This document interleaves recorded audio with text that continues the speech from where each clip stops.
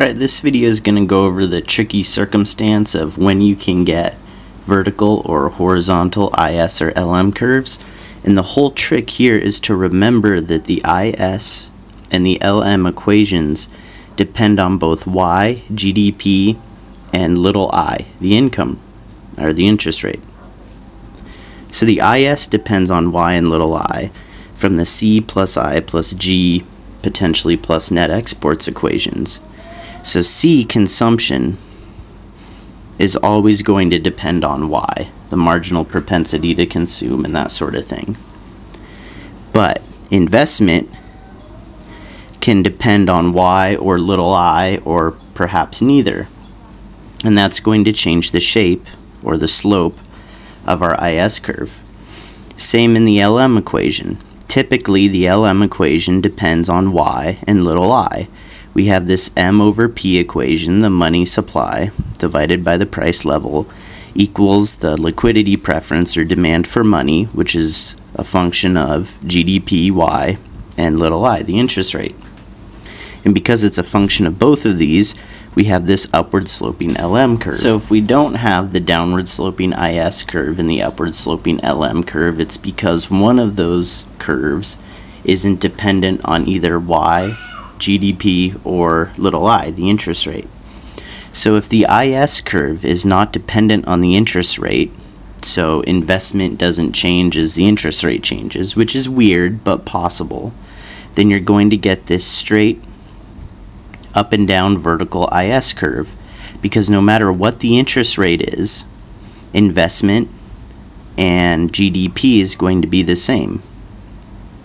So there's some value for GDP that the IS curve always holds for for any interest rate. So if you have an equation for investment, say it's equal to 3y, or investment is just equal to 500, and you don't see the interest rate in here, just investment equal to something, then you're going to get this vertical straight up and down IS curve. For situation 2, we have our downward sloping IS curve, but we have our vertical LM curve. So here, the LM equation is not dependent on the interest rate. So we would have M over P equals L Y with no little i in that equation. So the amount of money demanded only depends on the GDP level. So if GDP changes, then we're going to have to see a change in either the money supply or the price level, and that's going to cause a shift in our LM curve. Finally, situation 3, we have the LM curve is not dependent on Y. So we get this horizontal LM curve, and that would be if we had something like M over P equals L as a function of the interest rate only. So no matter what the level of GDP is, people are going to demand the same amount of money and they only change the amount of money they demand if the interest rate changes, which will cause a shift in our LM curve up or down. And so you can see in these scenarios that they have different implications. Like for this horizontal LM curve, if we see a shift in the IS curve,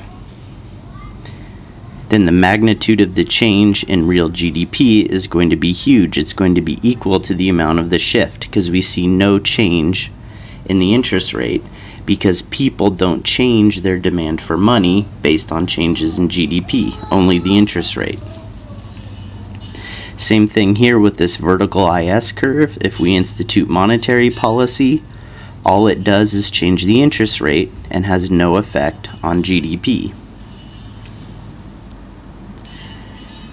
And here, if we change the IS curve, say through fiscal policy, then we see no change in GDP, only a change in the interest rate, because people's preference for money only depends on GDP. So the interest rate can fluctuate up or down, and that has no effect on people's demand for money and so the interest rate just rises and investment falls by an equal amount equal to uh, that change in the IS curve.